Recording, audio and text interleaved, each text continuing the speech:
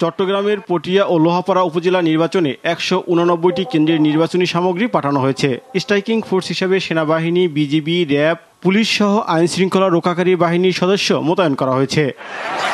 বরিশাল সদর উপজেলা নির্বাচনের ছেষট্টিটি কেন্দ্রের এক লাখ একত্রিশ হাজার তিনশো তেরাশি জন ভোটারের জন্য ব্যালট পেপার সহ নির্বাচনী সামগ্রী পাঠানো হয়েছে।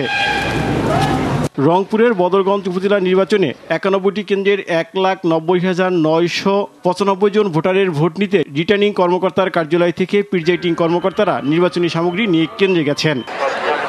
নওগাঁ সদর সহ ছটি উপজেলা নির্বাচনে তিনশো পঁয়তাল্লিশটি কেন্দ্রে ভোট নেওয়ার জন্য ব্যালট পেপার সহ নির্বাচনী সামগ্রী কেন্দ্রে কেন্দ্রে পৌঁছানো হয়। নির্বিঘ্নে ভোট দিতে পাঁচ স্তরের নিরাপত্তা ব্যবস্থা নিয়েছে পুলিশ।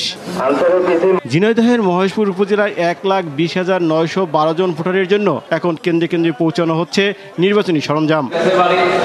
মিরপুরের মুজিবনগর ও গাংনী উপজেলার একশো আটটি কেন্দ্রের জন্য রিটার্নিং কর্মকর্তার কার্যালয় থেকে আনসার পুলিশ সদস্যদের সঙ্গে নিয়ে নির্বাচনী মালামাল স্ব কেন্দ্রে নিয়ে গেছেন প্রিজাইডিং কর্মকর্তা সহ সংশ্লিষ্টরা। বিজিবি মোতায়েন করেছি।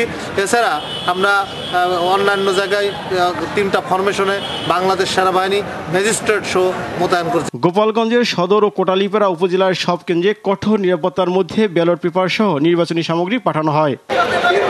কুষ্টিয়ার কুমারখালী, খোকসা ও মিরপুর উপজেলা নির্বাচনের ভোট নেওয়ার জন্য কড়া নিরাপত্তার মধ্যে কেন্দ্রগুলিতে নির্বাচনী সরঞ্জাম পাঠানো হয়। এছাড়া কঠোর নিরাপত্তার মধ্যে টাঙ্গাইল, কুড়িগ্রাম ও জয়পুরহাটে নির্বাচনী সামগ্রী পাঠানো হয়।